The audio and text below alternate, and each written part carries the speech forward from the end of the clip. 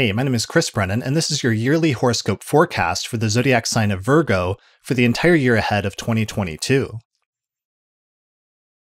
If you're new to my channel, then my name is Chris Brennan, and I'm the host of the Astrology Podcast and the author of a book on ancient astrology titled Hellenistic Astrology The Study of Fate and Fortune. So, in my approach, I synthesize a little bit of ancient and a little bit of modern astrology in order to get the best of both worlds. So each week I release new podcasts and videos on astrology on my channel. So if you'd like to get notifications when I release a new video, then please hit the subscribe button here on YouTube. And if you enjoy this video, then please consider hitting the like button to show me that you enjoyed the content and you'd like to see more of it. Okay, so my horoscopes are primarily meant to be read relative to your rising sign or your ascendant sign, which are essentially the same things. Although you can also watch them from the perspective of your sun sign, especially if you're born during the day, or your moon sign, especially if you're born at night. So the rising sign changes signs every hour or two during the course of the day, whereas the moon sign takes about two days to change signs, and the sun sign takes about a month to change signs. So, as a result of that, the rising sign is much more personally relevant to you. And for that reason, I would really focus on that when you're looking at these horoscopes, or horoscopes in general for that matter. So if you don't know what your rising sign is, then all you need to do is find out your birth time and then go to a website where you can get your birth chart calculated, such as astro.com, and you should be able to get your ascendant or your birth uh, rising sign calculated on those websites. So I have a video tutorial titled How to Calculate Your Ascendant and Rising Sign on my channel, which you can either search for or, or I'll put a link to it in the upper corner of this video right here. So let me know in the comments below what your sun, moon, and rising signs are, and which sign resonates with you more when you watch your video horoscopes like this one. All right, Virgo, let's jump into it by looking at your transits for 2022. All right, here's a graph or diagram that shows where the planets will start at the beginning of the year and how far through the signs of the zodiac they'll get by the end of the year, as well as which of the 12 houses they'll be moving through at different points uh, in your chart over the course of the year. Here are some of the main bullet points that I want to focus on during the course of this. Uh, we're going to start with the Venus retrograde in Capricorn in your fifth house, um, and then we'll hit some of these other parts during the course of this video. Here's a second slide that shows dates. I'm going to show this right now really quickly. That way I don't have to keep mentioning the dates over and over again, but you can refer back to this slide uh, later if you need to, if there's something you're not clear about in terms of the time frame involved. All right. So, first things first. Um, Venus recently went retrograde in your fifth house of children, creativity, uh, sex, and sexuality, as well as the place of fun and pleasure in your chart. So, this Venus retrograde actually started towards the end of last year. It actually started in December, and there were two exact conjunctions with Pluto but it's a transit that's going to continue into early March. Uh, basically, as long as Venus is in the sign of Capricorn, this transit's going to be operative for you. So, Venus retrogrades can sometimes um, force us to revisit and rethink and revise our social contracts with those in our lives and those around us. So, for you, this could be um, because Venus stationed retrograde conjunct Pluto it could be kind of a, a little bit of a tense transit where there's some some tensions coming up and some intensities when it comes to um, one of the things that's involved in the fifth house is romantic relationships. So there could be some really intense situations coming up when it comes to sex and sexuality and romantic relationships at this time in your life that you're going to be working through off and on during the course of this transit of Venus through the sign of Capricorn. So sometimes this can be kind of a difficult because Venus retrogrades can dredge up things from the past, um, especially things that that happened either eight years ago or eight years before that or eight years before that, because Venus will go retrograde in this sign uh, approximately every eight years, so that you'll have some of these somewhat similar energies coming up in eight year increments. So Venus could be bringing up some some issues from the past that are a little bit difficult to deal with or a little bit tense.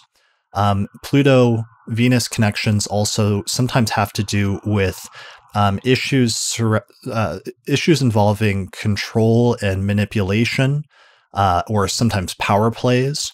So, if you get into a romantic relationship during this time, it could be a very intense relationship where either you're very focused on and very somewhat almost like obsessed with a partner, or you find somebody else who comes into your life that's kind of really focused on you and really kind of obsessed with your relationship. So, in some instances, this type of relationship can be good in that it can be very deep and um, you can have a connection with somebody that's very intense, which can feel great. Um, but on the other hand, it can sometimes bring up some kind of darker issues that have to do with um, obsession that's not necessarily healthy.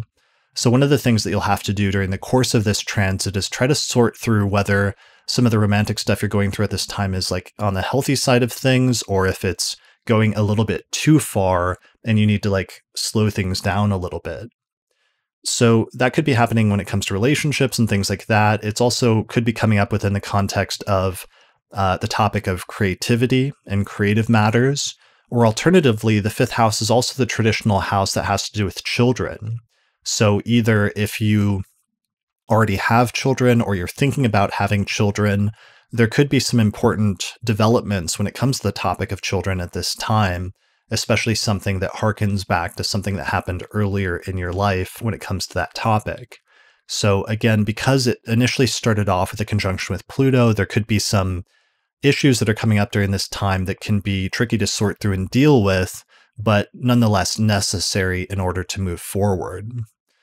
So some of this is going to be the the need to work through some of these things is going to be intensified a little bit, um, starting at the end of January when the planet Mars will actually ingress into the sign of Capricorn, where it'll join Venus for about a month or so. So Mars will go into Capricorn in late January, and it won't depart from Capricorn until Venus does on the same day on March 6th. So Mars can speed things up when it transits through a certain house. Um, it can add greater intensity and greater focus and greater fieriness to this area of our life.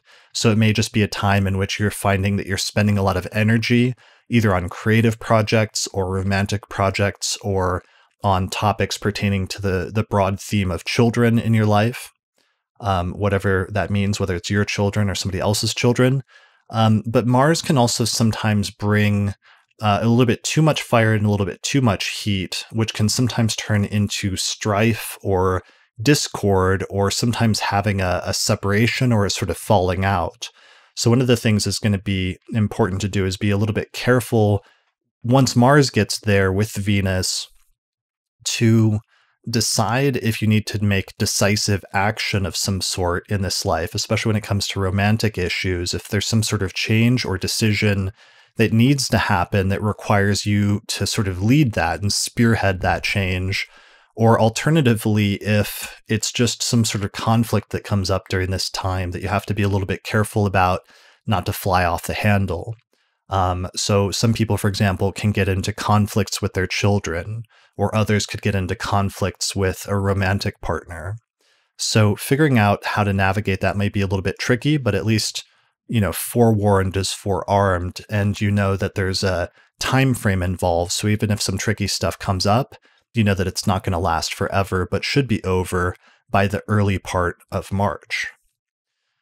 All right, so let's move into some other transits, especially some more positive ones coming up. So this may actually be tied in with the previous transit, where the next one that I wanted to discuss is Jupiter has recently moved into Pisces and into your seventh house of relationships. So, this is generally speaking a pretty positive transit for growth and expansion when it comes to relationships and the general topic of one on one partnerships in your life. So, the seventh house relates to relationships, partnership, marriage, and other people in your life in general. So Jupiter, especially for those of you with day charts, generally indicates um, growth and sometimes the start of new relationships or a positive figure coming into your life and sort of helping you out and playing a positive or optimistic role in a one-on-one capacity in, in a direct relationship with you. So often for many people, this pertains to a romantic relationship, which could be tied in with some of your Venus retrograde transits that are going on um, in the more like romantic or, or sort of sexual area of your chart in the fifth house. But the seventh house can also just pertain to business partnerships as well. If you have a close one on one partnership with another person in your life, even if it's not romantic, it's just the general theme is growth and expansion through direct partnership with another person. So, one thing you want you want to be a little bit careful about though is we do have a Jupiter Neptune conjunction that's going to take place this year in early to mid April. So when Jupiter gets a certain ways into Pisces, it's eventually going to conjoin the planet Neptune. And Neptune usually has to do with themes of like illusion and um, sometimes things not being quite what they seem. So, on the one hand, in the most positive manifestation, this could indicate a very idealistic period for relationships in your life where everything just seems amazing and everything seems great and some of your your greatest like fantasies or ideals suddenly seem like they're becoming reality when it comes to relationships and partnerships. So that's the sort of positive, most positive manifestation potentially. The potential downside is that sometimes Neptune is not necessarily all it's cracked up to be, or there can be an initial illusion about something, but then later it turns out that things were not quite as great as they seemed, and instead there could be some sort of deception or misleading involved when it comes to relationships or partnerships in your life at this time. So it's a little bit tricky because um, usually with Neptune transits, it's hard to determine which of those two scenarios it is until you get to the other side of the transit and it's over. It's often hard to see things clearly, and there will be a tendency to probably want to see things more optimistically than they might be at the time. So I don't want to say that to completely remove uh, the positive potential, since just Jupiter going through your seventh house during this time seems like a pretty positive year in terms of relationships in general, especially in the first five months of the year, and then a little bit at the end of the year when Jupiter dips back into Pisces for like a like a month or two or like a few weeks. Yeah, so Jupiter in Pisces until May 10th, and then it comes back October 28th through December 20th, whereas the conjunction with Neptune goes exact on April 12th. So that's a little bit more confined, especially to the earlier part of the year. Um, so just pay attention to those possibilities because one of the ultimate downsides is you definitely don't want to be led astray by somebody who's deliberately um, putting on a false pretense or is trying to lead you into something uh, through some sort of deception. Um, alternatively, sometimes it could be you that's sort of deceiving yourself, whereas not seeing your partner clearly um, because you want things to be more positive or like better than they actually are. So it's kind of important on your part not just to expect something from the other person, but also to try to strive to see things clearly yourself and not be sort of taken away by, you know, sort, of fantasies or scenarios that are in your own head in some ways, but instead try to see the other person for who they are and what they're actually bringing to your relationship or your partnership. All right, so that is the Jupiter transit. That's happening especially for the first four, four and a half months of the year. Jupiter just ingressed at the very end of December of 2021. Um, but in May, what happens immediately after that is that Jupiter is going to ingress and move into Aries, which is your eighth house of other people's money. And it's going to stay in that sign from May 10th through October 28th. And then it's going to retrograde um, back into Pisces. So it's going to go into Aries into your eighth house. Then it'll retrograde back into Pisces for like a month or so. And then it's going to come back into Aries um, starting in on December 20th and going through until May of 2023. So this transit is something that's going to be off and on for the next year, basically. So the eighth house has to do with other people's money it can also have to do with issues pertaining to mortality or inheritance or debt. Um, Jupiter, though, tends to be a more positive influence of uh, or significator of growth and expansion.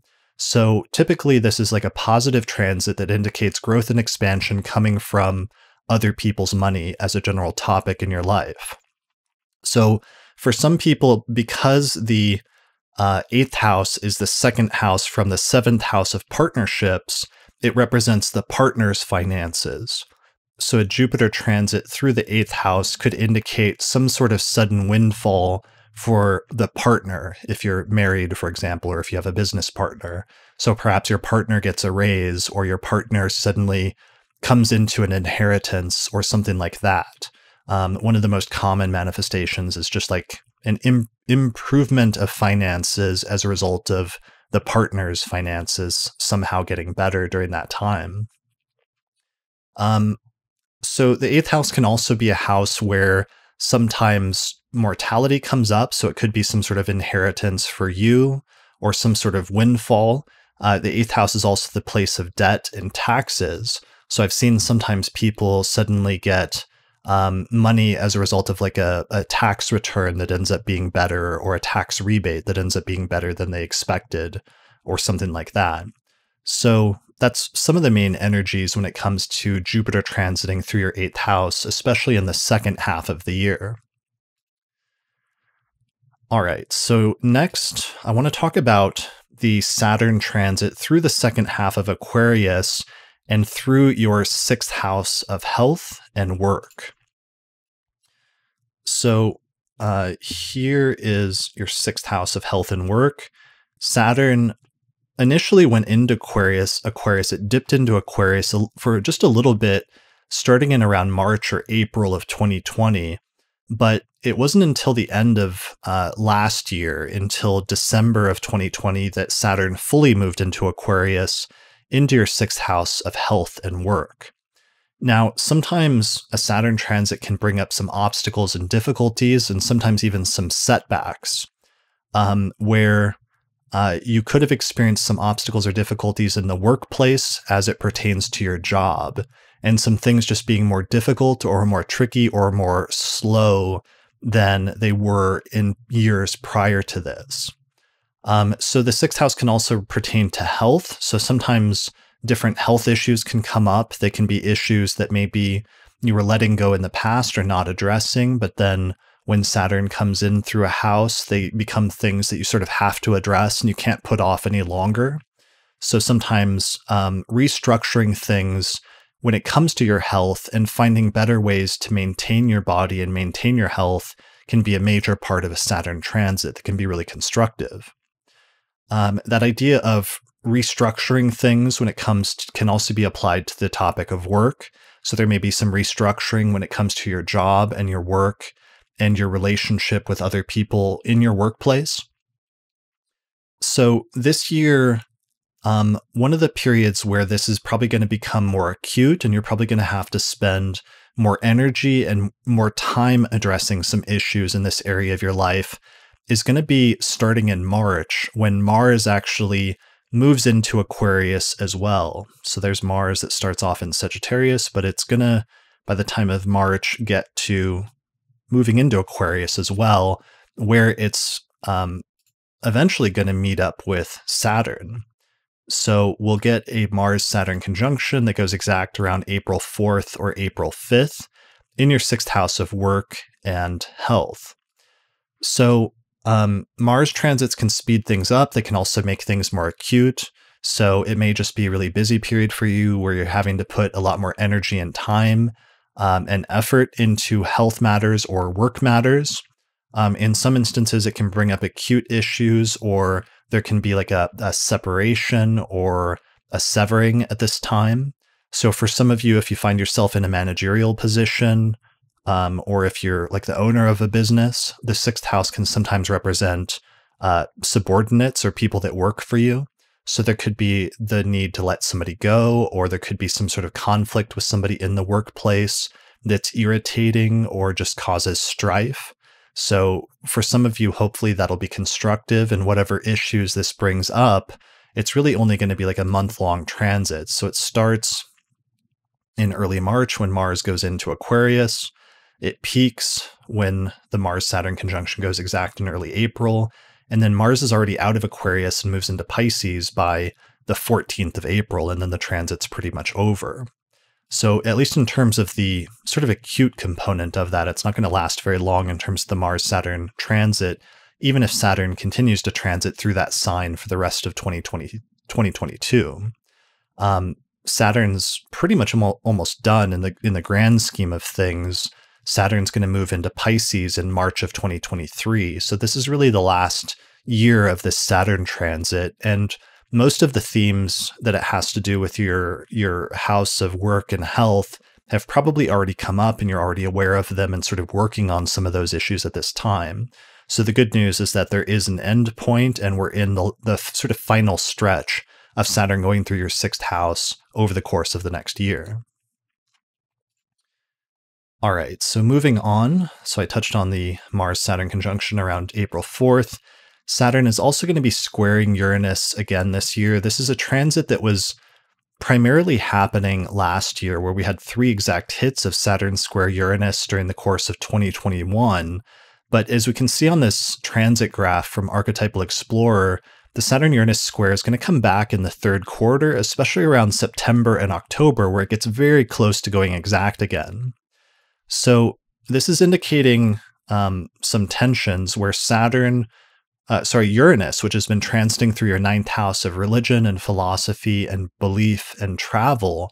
And you've been having this kind of rebellious, kind of refreshing, liberating energy going through that sector of your life, which may have indicated the development of some new philosophies, some new beliefs, some new educational directions and vistas, or some sudden and unexpected exposures to new cultures or new ways of life and thinking about the world that are different compared to what you grew up with or where you were prior to the past few years when this transit started, as soon as Uranus went into Taurus a few years ago.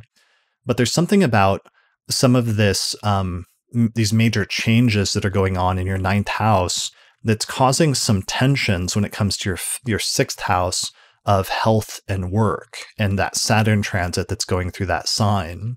So it may be that maybe some of your your new beliefs or that some of these radical changes that are happening in the education or the belief sector are somehow causing tensions when it comes to um, your work life and the work sector.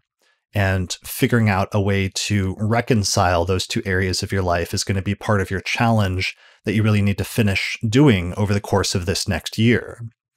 Um, it could also be that there's something about your beliefs or some of these radical changes that could be uh, causing tensions when it comes to health and wellness. Um, maybe if there's some sort of misalignment between um, some new thing that you've gotten into or gotten focused on, like a new health idea that's sort of motivated philosophically or spiritually, but that's somehow causing conflict in terms of your actual physical um, health and wellness. Maybe there's something that's out of alignment there or that's causing those tensions. Either way, it's good to just think about some of the topics associated with the sixth and the ninth houses and how there might be some tensions in those two areas of your life or between those two areas that you can reconcile during the course of this year, especially in the third quarter of 2022. All right, so that actually leads directly into the next section where I wanted to talk about the eclipses that are going to be bouncing back and forth between Taurus and Scorpio starting in April and May, but then also again in October and November. So we've already, I've just talked about Taurus and how Taurus is your ninth house of religion and philosophy and education and beliefs. That's where some of the eclipses are going to be taking place. And we, we actually already had one in late November of 2021 that started this whole eclipse series. Um, but there's also going to be a couple of eclipses in Scorpio in your third house of communication, travel, siblings, neighbors, and extended relatives and family. Those are the primary topics associated with the third house. So during the course of this year, you're going to have this series of eclipses that takes place, which is going to indicate major beginnings and major endings in those two areas of your life, just bouncing back and forth over the course of the year. So here's the actual dates. So the first set of eclipses is in late April and mid May, and then the second set is in late October and early November. So, great beginnings and great endings when it comes to those two areas of your life. So, sometimes when this happens in the third and ninth house axis, it has to do with learning new things in the ninth house and some of these radical changes that are taking place due to Uranus transiting through your ninth house over the past few years and the ways in which maybe your beliefs or your outlook on the world is changing radically. Um, but then needing to figure out how to communicate that and starting some major beginnings in terms of shining a spotlight on how do I communicate some of these things that I've been learning over the past few years to those around me in a way that makes sense and isn't um, alienating. Could be one of the topics for you. It can also be um, things involving travel and just um, mobility.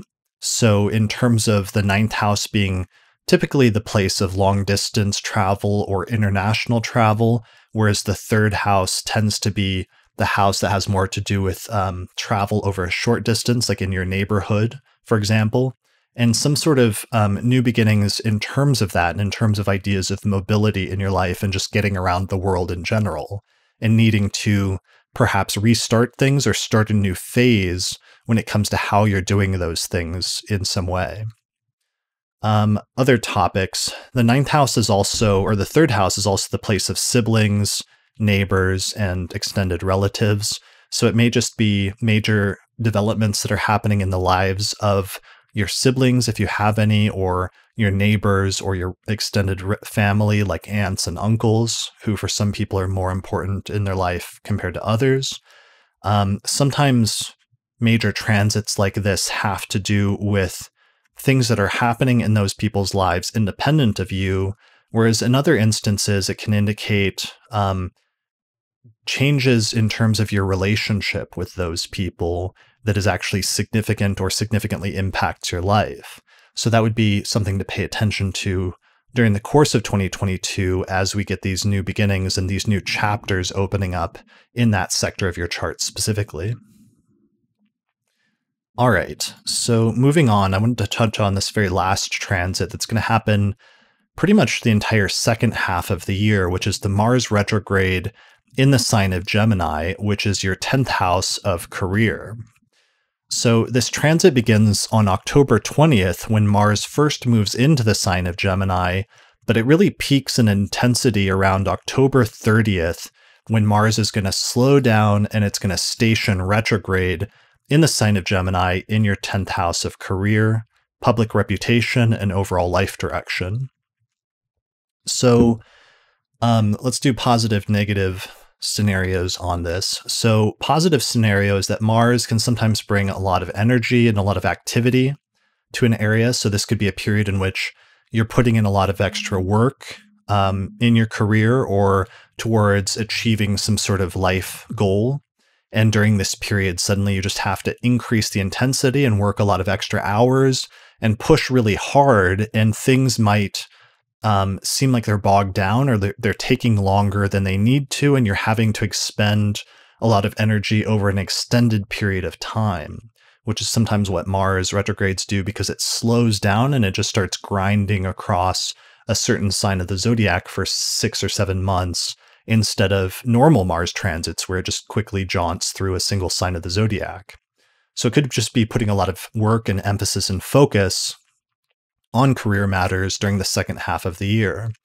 Um, however, sometimes Mars transits can also bring um, strife or discord or separation to this part of our chart as well, especially for those of us with day charts where Mars tends to be a little bit more challenging or a little bit more tricky. So it could be a time in which you get into some conflicts or some strife or have even a separation when it comes to your career where you have a major setback and you have to um, go a different direction, where it sort of forces you to move away from potentially from one career or one thing that you've been working on at the time and instead have to go somewhere else or have to do something else. There also could just be an issue in terms of some sort of incident that happens in terms of your rep- reputation at this time, especially around the time of the Mars station around late October. Although the scenarios that um, happen during that time will actually be building up and being put into place going all the way back to August as soon as Mars ingresses into that sign. If you pay attention, the sort of scenario will start building up and the pieces will start falling into place at that point, which will eventually culminate and become more clear at the time of the, the retrograde station in late October. So the retrograde's then actually going to last for a while, and this transit's going to go well into the early part of 2023. So it's something that continues on into next year, but we'll get um, the majority of it or the brunt of it will take place in the second half of 2022. So, those are some of the themes that I'd really focus on when it comes to that final transit of the year, where it seems like there are some major career matters that are happening, and career becomes part of the major focus of the end of 2022 for you for some reason, in terms of either putting more energy towards your work and career and overall life direction in order to achieve things, or in terms of having some obstacles come that come up that you have to deal with or sort of push through at that time.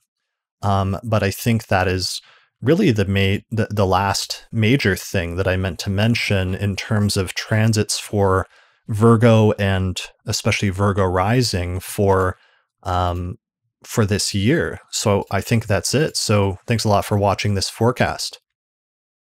All right, that's it for this horoscope forecast for 2022. So, as always, this was just a general forecast that focuses on some of the broad outlines of the year ahead. So, if you'd like a more detailed analysis of some of the general transits this year, then be sure to check out our year ahead forecast for 2022 that we released in December. Uh, additionally, for a more detailed analysis of your chart, you might want to get a consultation with an astrologer because they can look at it in much more detail than I can go into here in just a general horoscope. Alternatively, or better yet, you could also learn how to read your birth chart and transits on your own, which would allow you to pinpoint some of the dates involved with much more precision and exactness. So, if you'd like to learn more about my approach to astrology, then you can get a copy of my book titled Hellenistic Astrology The Study of Fate and Fortune. And in this book, I reconstructed the original system of Western astrology and recovered some techniques that we had lost uh, many centuries ago. So, with this book, I sort of teach you how to read a birth chart and how to use different timing techniques in order to determine when different things will happen during the course of your life, or in some instances during the course of a single year, as I've attempted to do in this horoscope forecast. So, the book is available on Amazon as well as in other fine bookstores everywhere. I also teach an online course on ancient astrology, which has over 100 hours of video lectures. Uh, it shows hundreds of different example charts in order to show you how the different techniques work in practice. And it really gets into details that I couldn't go into as much in my book, even though the book is very big. Uh, in the course, I actually get into a lot more example charts, which really gives you better hands on experience of how to use astrology to read birth charts in practice. So you can find out more information about that at courses.theastrologyschool.com. And finally, I also recently released my 2022 electional astrology report, where I went through the year and I picked out some of the most auspicious or lucky dates uh, with one lucky date or electional chart for each of the next 12 months. So these are useful for starting different types of ventures and undertakings using the principles of electional astrology. The report is also available at courses.theastrologyschool.com. All right, so that that's it. So thanks for watching. Good luck in 2022 and may the stars be ever in your favor. Special thanks to all the patrons that supported the production of this episode of the podcast through our page on patreon.com. In particular, thanks to the patrons on our producers tier, including Thomas Miller, Catherine Conroy, Christy Moe, Ariana Amour, Mandy Ray, Angelique Nambo, Sumo Kopic, Isa Sabah, Jake Otero, Morgan McKinsey, and Kristen Otero. If you like the work that I'm doing here on the podcast and you would like to find a way to support it, then please consider becoming a patron through my page on patreon.com. And in exchange, you'll get access to bonus content such as early access to new episodes, the ability to attend the live recording of the month ahead forecast each month, access to a private monthly auspicious elections report that we put out each month, access to exclusive episodes that are only available for patrons, or you can also get your name listed in the credits at the end of each episode. For more information, go to patreon.com slash astrology podcast. The main software we use here on the podcast to look at astrological charts is called SolarFire for Windows, which is available at alabe.com, and you can use the promo code AP15 to get a 15% discount. For Mac users, we use a similar set of software by the same programming team called AstroGold for Mac OS, which is available from astrogold.io, and you can use the promo code AstroPodcast15 to get a 15% discount on that as well. Also, special thanks to our sponsors, including the Mountain Astrologer magazine, which is available at mountainastrologer.com, the Honeycomb Collective Personal Astrological Almanacs, available at honeycomb.co, and the AstroGold Astrology app, which is available for both iPhone and Android at astrogold.io. There are also two major astrology conferences happening this year. The first is the Northwest Astrological Conference, happening May 26th through the 30th, 2022, near Seattle, Washington. Find out more information at norwac.net.